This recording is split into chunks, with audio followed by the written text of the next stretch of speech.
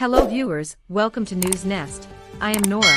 Please subscribe to the channel and our weekly newsletter to stay updated on the latest news and for a chance to win our weekly Amazon gift card giveaway. Here is today's top news.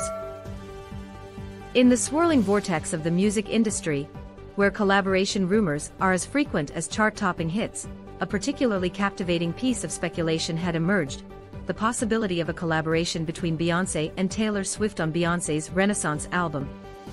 Fans of both artists were sent into a frenzy at the thought of these two musical juggernauts joining forces, their excitement reaching fever pitch as they awaited confirmation. However, the rumor mill was brought to a sudden halt as reports surfaced, definitively stating that Taylor Swift would not be featured on Beyoncé's new album. The news rippled through the fan communities, dousing the flames of anticipation with the cold water of reality. The dream of a Beyoncé-Swift collaboration, it seemed, would remain just that, a dream. The question then shifted from one of hopeful speculation to one of factual clarity, is Beyoncé working with Taylor Swift on Renaissance Act 2? The answer, it turns out, is a resounding no. Representatives for both artists have confirmed that, despite the tantalizing rumors, there are no plans for the two to collaborate on the project. The music world, which had been abuzz with the potential of such a historic partnership, was left to wonder what could have been. The story of the non-collaboration between Beyoncé and Taylor Swift on Renaissance has unfolded in a series of waves, each one building upon the last, only to crash down with the latest confirmations.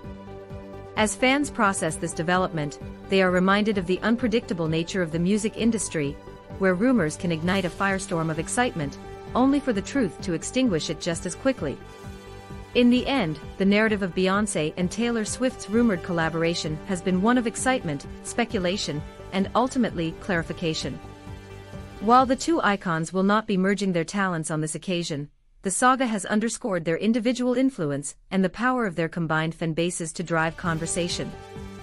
The music community may be left longing for what could have been, but their focus now turns to Renaissance itself, as they await the next chapter in Beyoncé's storied career. That's it for us today. Join us next time for all the hot news by subscribing to our channel and our weekly newsletter and turning on the notification button to stay connected and for a chance to win our weekly Amazon gift card giveaway.